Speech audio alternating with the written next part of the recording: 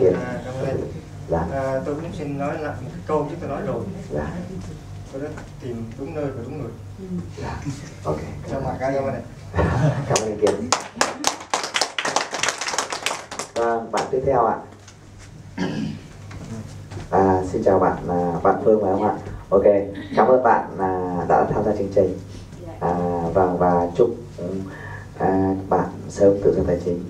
Và công ty cũng mong rằng trong cái mùa xuân tháng năm chúng ta sẽ gặp nhiều ờ, các cái đại hội của các công ty. Và, và có một món quà muốn tặng cho bạn Phương. À, em cảm ơn thầy. Thì em cũng ờ, nói vài lời với thầy. Dạ. thì thật sự thì cái ờ, lớp học này thì không phải là em đăng ký.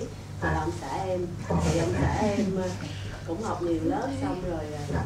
cái bữa cũng về cũng nói là ờ, anh ờ, anh nói em nghe này.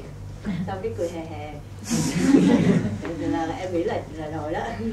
Nhưng mà anh cũng có kể là à, anh um, đăng ký lớp học của thầy Tần Dạ. thì cũng có nghe hội thảo về thầy Tần giới thiệu á. Thì tại vì nhiều khi hai chồng nói chuyện nhau á thì không có đồng điệu nhau em cứ hay uh, cãi. Dạ. giống như là hai chồng không có cùng chí hướng á nên uh, với lại em cũng chơi cũng chơi chứng khoán lâu rồi. Nhưng mà giống như đi chơi tuyển mình vậy đó. Thì qua cái lớp học của thầy thì em cũng uh, nhìn thấy rất là nhiều cái sai lầm của mình trong đầu tư. Vâng. Thì uh, em em nghĩ là ông xã em đã tìm được cái đường đi cho em. Ok. Thì em về em sẽ uh, làm việc lại. Vâng, của bạn rất nhiều.